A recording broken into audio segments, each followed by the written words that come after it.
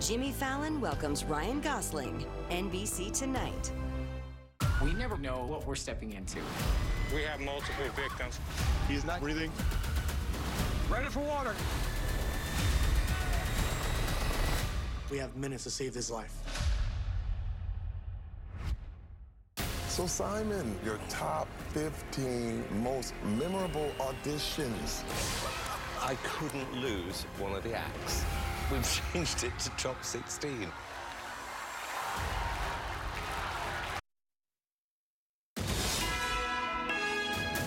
This is NBC4 News at 11.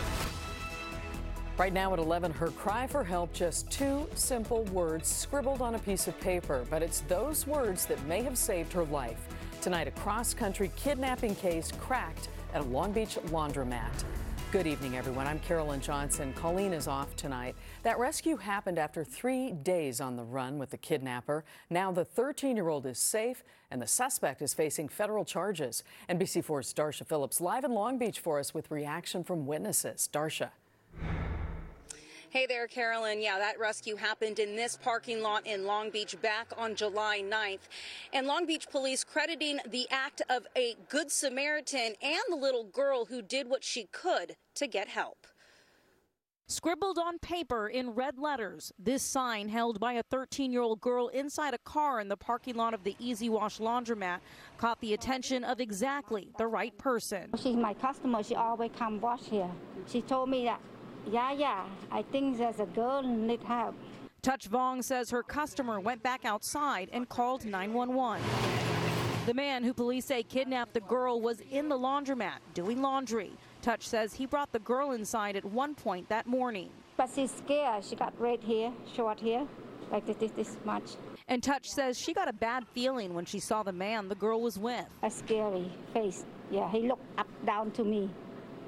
I said, in my head, I said, oh, maybe something, something, yeah. After the customer called police, officers arrested him, identifying him as 61 year old Stephen Robert Sablan of Cleburne, Texas. According to a federal indictment, the girl was walking in San Antonio on July 6th when she was approached by a man in a silver Nissan vehicle. The driver of the vehicle, later identified as Sablan, raised a black handgun and told her, If you don't get in the car with me, I'm going to hurt you. The indictment says Sablan drove the 13 year old from San Antonio to Long Beach, sexually assaulting her several times along the way. When the Good Samaritan called 911, responding officers found a black BB gun and handcuffs in the car. Long Beach police credit the rescue to the quick action of the Good Samaritan.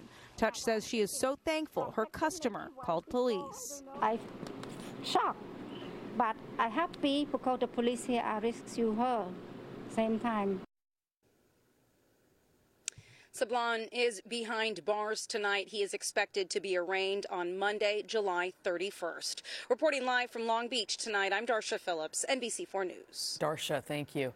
Well, a fiery school board meeting in Chino. School board members just passed a new policy that forces teachers to tell parents if their child identifies as transgender.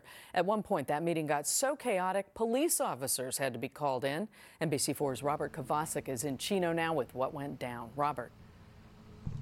Carolyn, it was chaotic. There were hundreds of people here adamant about getting their point across. There were signs, there were t shirts, there were speeches. And yes, security was called, but not to clear the crowd that had gotten out of control, but it was California's highest ranking educator who had to be led away. Tony Thurmond, I appreciate you being here tremendously. But here's the problem we're here because of people like you. You're in Sacramento proposing things that pervert children. And with those words from the Chino Hills Unified School Board president, California's state superintendent of public instruction, Tony Thurmond, was escorted by police out of the meeting with some parents shouting, Leave our kids alone. Outside the meeting, Thurmond said the kids are why he's here. I came here today because I was called uh, by many students in this district who shared with me that they've been threatened, they've been bullied, they've been intimidated on social media, in the boardroom, and that they feel threatened by this policy that is here. At issue, should parents be notified if their child identifies as transgender at school, is involved in violence, or talks about suicide? Teachers aren't trying to